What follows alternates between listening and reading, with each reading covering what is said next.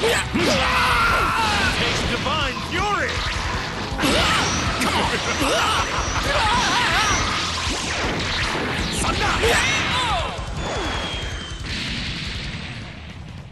Destructive finish!